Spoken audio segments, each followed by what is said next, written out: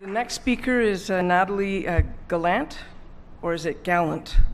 Gallant, uh, who's going to talk about targeted monoclonal antibody therapies to detect and reverse cardiac amyloidosis. Thank you for that introduction. Um, my name is Natalie Gallant. I'm from the Chakrabarty Lab. And today I will be talking to you about some of the work that we've been doing at University of Toronto and UHN on developing therapeutic monoclonal antibodies to detect and halt TTR-related cardiac amyloidosis. I'll first start with a little bit about the protein that causes this disease, and then eventually get into the disease itself, and finally some of the research work we've done on developing immunotherapeutic strategies. I don't know how you change it. Oh, oh the green button, sorry. So the main culprit of this disease is a protein called transthyretin, TTR. TTR is a serum transport protein. It's involved in transporting thyroid hormones T3 and T4 throughout the body, as well as vitamin A via retinol binding protein. It's primarily synthesized in the liver, and it's a 55 kilodalton homotetramer, meaning that it's composed of four identical subunits, as indicated in the space-filled molecular diagram. It has a high serum concentration of 0.1 to 0.4 mg per mil, and unfortunately, this protein can misfold and deposit as amyloid plaques throughout the body, including the heart. TTR amyloidosis can be divided into two different types, the first being wild type TTR amyloidosis or wild type ATTR. Um, this disease is characterized by the deposition of wild type TTR amyloid throughout the body. The signs and symptoms of the disease, though, are nonspecific and are often misinterpreted, and they include cardiac amyloidosis, which manifests as a slow restrictive cardiomyopathy, retinopathy, polyneuropathy, and bilateral carpal tunnel syndrome. The second one is hereditary TTR amyloidosis, which is characterized by the deposition of mutant TTR amyloid throughout the body. This disease can be further characterized into three subclasses, including familial amyloidic polyneuropathy, familial amyloidic cardiomyopathy, and familial leptomeningeal amyloidosis. The number of mutations that have been identified in patients worldwide span the entire protein. So, therefore, the mutations that appear in these diseases are not localized to one section of the protein at all. So, what treatment options do patients have at this point? Unfortunately, not many. Um, for those who are eligible to go under surgery, they can go through liver or heart transplant. In terms of pharmacotherapies or drugs, um, many have been tried and tested as indicated on the slide. However, none have been approved by the FDA nor Health Canada. There is one drug, it's called tafamidis. It has been approved in both the EU and Japan, but um, it reached stage three clinical trials um, in the US, and the FDA looked at the data and they didn't approve it, but as of 2016, they have not fully rejected it yet. But as it stands still, the only options that are available are transplants. So, how does transthyretin even form amyloid in the first place? Well, what happens is, is that TTR in its native tetrameric form stays in its tetramer, but this can dissociate into monomers. These monomers can go under aberrant changes and become amyloidogenic monomers, which can then become aggregates and eventually form amyloid fibrils. Here at the Chakrabarty Lab, we have developed a method or an immunotherapeutic strategy in which we hope to use antibodies to specifically target these misfolding intermediates while neglecting and leaving the tetramer, native tetramer alone.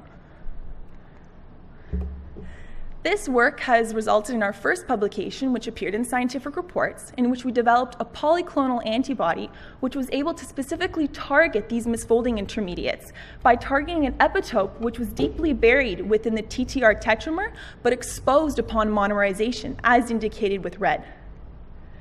The main feature of this publication was the fact that these polyclonal antibodies were able to inhibit fibril formation, amyloid fibril formation in comparison to a commercialized pan-specific TTR um, polyclonal control, our mis-TTR, misfolded TTR polyclonal antibody exhibited substoichiometric inhibition of amyloid fibril um, formation at an IC50 at 9 nanomolar.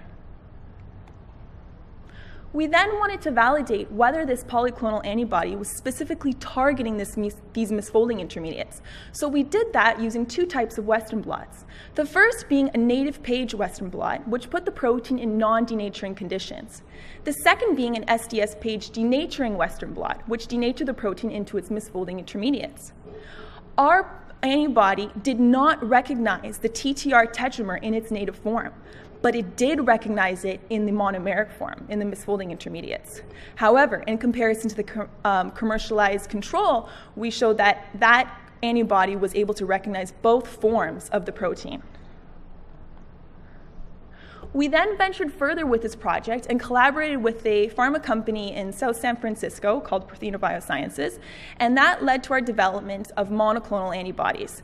And so the difference between monoclonal and polyclonal antibodies is that monoclonal antibodies can be used as therapeutics or drugs, whereas polyclonals cannot. So in that publication, we showed that we developed multiple monoclonal antibodies which were targeted toward that same epitope, which was buried in the TTR tetramer, but exposed upon monomerization. And these monoclonal antibodies, once again, were able to show fibril inhibition, um, where in comparison to our isotype controls, which showed no fibril inhibition abilities um, at all. We then wanted to validate and see whether these monoclonal antibodies could actually recognize TTR amyloid um, in vivo using, so what we did was we obtained cardiac tissue from a patient who had a hereditary ATTR, more specifically the I84S mutation. And what we did was uh, we exposed our monoclonal antibody to tissue, tissue sections from that patient's cardiac tissue, and we saw that the monoclonal antibody was able to specifically label TTR amyloid in comparison to a commercialized control, which labeled all forms of the transthyretin protein, and our isotype control, which had no labeling whatsoever. We compared this staining or this labeling with two types of controls which generically um, mark amyloid, the first being thioflavin T and the second being Congo red. And comparing these uh, stains with our 14G8 monoclonal antibody, we saw nice colocalization indicating that our monoclonal antibodies were actually able to target uh, and label um, TTR amyloid in cardiac tissue. After that, we wanted to see whether our antibodies could induce an immune response. So what we did was we did a THP1 cell assay, which uses monocytes. And what we did was we labeled our unfolded transthyretin protein with a fluorescent marker. Upon, upon exposure of that transthyretin protein with the monoclonals, we saw monocytic cellular uptake of that protein in comparison to the isotype control, where we saw no uptake whatsoever. This has led us to our current state in our research, in which we're using uh, immunogold transmission electron microscopy to visualize and see where our monoclonal antibodies are binding along the TTR amyloid in their fibers. And so what we found from our study so far is that our monoclonals are preferentially targeting the TTR fibril ends, acting as fibril cappers, as well as to the oligomer aggregates. So this image on the screen above is an electron microscope image of TTR amyloid fibers. And so what and these fibers have been exposed to our monoclonal antibody. The monoclonal antibody has been labeled with a secondary immunogold, and that is indicated with the black spheres, as you can see. I can't, no, with black solid spheres. So what we can see from this is that our monoclonal antibodies are preferentially binding to the fibril ends of TTR, and as well as oligomer aggregates within our samples. However, please notice that they also don't bind along the length of the fiber or the stem. We have seen hundreds of examples of our monoclonal antibodies binding to these oligomer aggregates. And these are just magnified images of those oligomer aggregates. We have seen these in wild type TTR amyloid samples, V122I TTR mutant amyloid samples, as well as V30M TTR mutant samples. And V30M is the most common mutation found in patients worldwide with these diseases. And once again, this is another image showing um, our monoclonal antibody labeled with immunogold secondary binding to specifically the fibril ends uh, rather than the actual along the length of the fiber. And this is a closer up image, a magnified. A colleague in my lab, Dr. Poonam Ghosh, also examined and investigated this fibril immune binding complex uh, using isothermal titration, um, so isothermal titration calorimetry, or ITC analysis. And what she found was for both wild type TTR amyloid fibrils and V122I TTR, and V122I TTR is a mutation most commonly found in African American populations, that the monoclonal antibodies had two classes of binding sites So at this point, we believe that our antibodies are acting at the later half of this amyloidogenesis pathway. So, in summary, we have now developed some antibodies which are able to uh, bind to these oligomer aggregates and the fibril ends. And this binding has been shown to both arrest and prevent fibril growth. Um, these resulting immunocomplexes using our THP1 uh, monocyte assays were able to be phagocytized or opsonized by our monocytes, so therefore inducing an immune response. And as well as we have shown that they're actually able to bind to specifically TTR amyloid in cardiac tissue. So therefore, our results as they stand, hopefully these monoclonal antibodies will have usage in both diagnostics as well as therapeutics or treatment for patients who do have TTR-related cardiac amyloidosis. I would like to thank the following uh, individuals on this slide for their consistent support during my PhD research, as well as my supervisor, Dr. Avi Chakrabarty, for his consistent support, as well as the following uh, sponsors of my work, and especially the Ted Rogers Center for Heart Research. I thank you for your continuous support. Thank you, everybody. Happy to take any questions. Thank you, Natalie. This is, uh, this is also open uh, for discussion. I, I have a, it's, it's, it's, a bit of an unfair question, so I'll, I'll preface it, but I'm kind of hoping that if you can really bind and uh, see phagocytosis and removal of amyloid, uh, have you looked at uh, this in the brain? Because I'm kind of hoping you're going to cure dementia. right? I mean, a lot of dementia. There's a there's a great deal of dementia that's actually caused by uh, amyloidosis. So have you looked at any other? Let me make it a fairer question. Have you looked at any other tissues other than cardiac cells? Uh, the the amyloid that is in the brain is a different type of um, amyloid. Unfortunately, that would be great to cure both. um, so no, we've just looked at cardiac tissue as of now. Mansour. Um, Natalie, congratulations. Really nice. Um, so, uh, can you tell us how common TTR amyloidosis is? And, um, and then, secondly, you've developed a, a monoclonal, and uh, you've got nice in vitro demonstration that you've got biological activity. So, what are the steps that this gets approved for the treatment of these individuals that have this? So, the commonality of TTR amyloidosis and um, related cardiomyopathy is related to the subpopulations.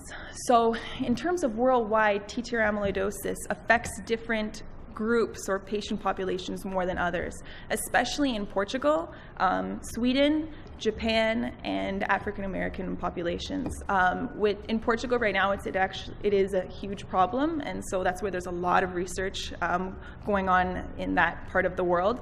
Um, in terms of the different mutants, they affect different people, uh, different populations differently. For example, the V122I is found in 3.2% of African Americans. Um, worldwide. Uh, the V30M is the most common mutant um, in terms of it surpasses even the V122I.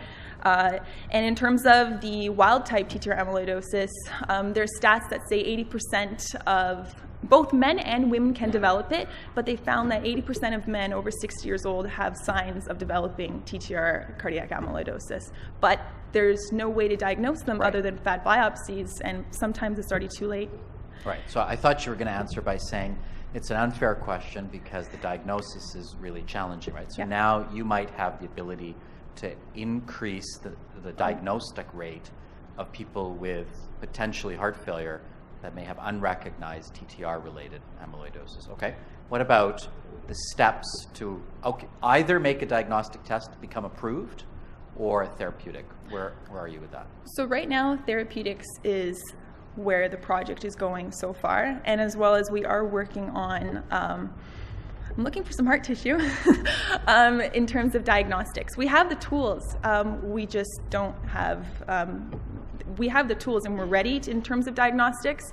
Um, we just haven't been able to develop any as of yet.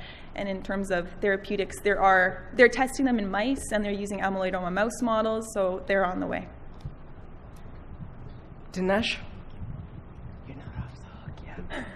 Nice work again. Uh, just following up on Mansoor's question, have you been able to get this antibodies to attach onto contrast agents, whether it's MRI-based contrast agents or echo-based contrast agents, again, to try, try to help with the diagnostic um, issue? Because we, we struggle with that with imaging to differentiate the kinds of amyloidosis. Not as of yet. Not as of yet, but that's a fantastic route to go. That's the conversation. Yes.